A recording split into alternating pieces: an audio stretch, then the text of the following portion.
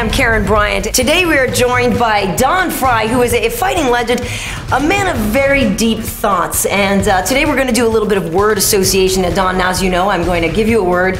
And afterwards, I'd like your instantaneous reaction to that. And that way we get a little peek at your mind. Let's get started. Easy one beer, More. steroids, More. Glad I got my tickets to the gun show. Oh, my, oh you're doing that? Yes. I, I can't. I'm, I'm just gonna move on past that. Blondes. oh, I love blondes. Yeah. Redheads. I have a weakness for redhead.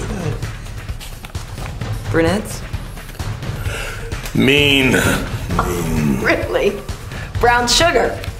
Very mean. Really? And very abusive. And very demanding. And, uh, but they tell you what they want.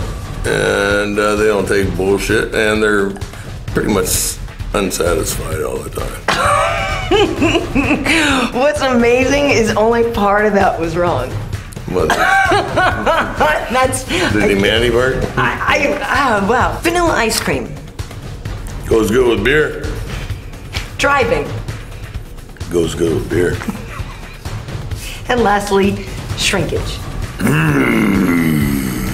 Happens because of Happens. beer. happens. cold, cold beer, too much beer. if only I were blonde, I could have more fun with it. Check me for shrinkies then, huh? No, thank you.